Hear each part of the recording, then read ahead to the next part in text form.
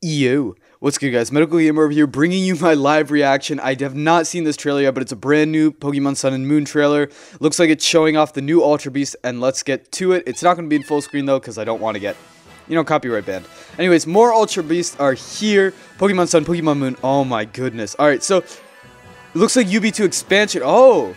Okay, so it has a different name. So that means it's absorption in the English version and its expansion in the Japanese. Yubiya 2 Beauty is still the same.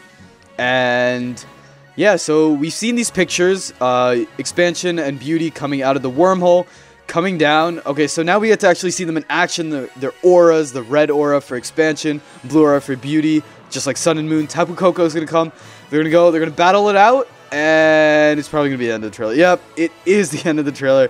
Unfortunately, that was very short. Nothing new there. We've seen the pictures and everything, but nonetheless, I hope you guys enjoyed the video. If you did, please hit the thumbs up down below, subscribe, leave a comment about what you thought, all that good stuff. I'm going to get out of here. Peace.